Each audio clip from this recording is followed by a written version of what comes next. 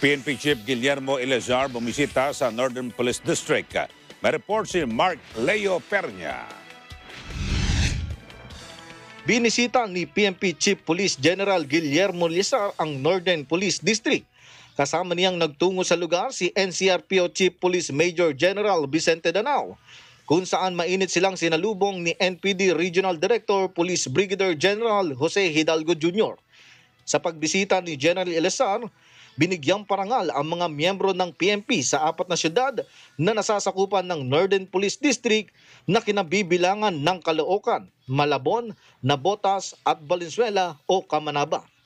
Ang mga parangal ng kagalingan ay iginawad sa mga natatanging pulis dahil sa sunod-sunod na accomplishment sa pagkakahuli sa mga most wanted person, milyong-milyong piso halaga ng illegal na droga, mga big-time gun runner, illegal drug syndicate at iba pa.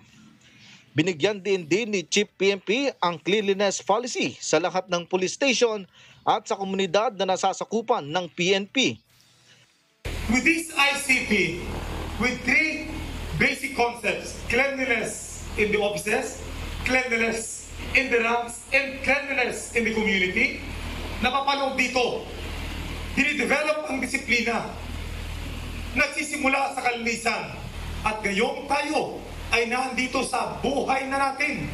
Ay itong ating organisasyon, our bread and butter, ang ating mga opisina, ang ating mga stasyon, yan ang ating pangalawang bahay. Nais din ni General Eliasar na mabisita ang lahat ng police station para matiyak na maayos ang lahat at mabalik ang buong tiwala ng mga mamamayan sa pambansang pulisya.